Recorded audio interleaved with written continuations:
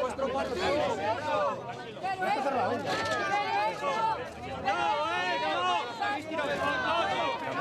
presidenta, presidenta, presidenta. Vamos aquí a la izquierda.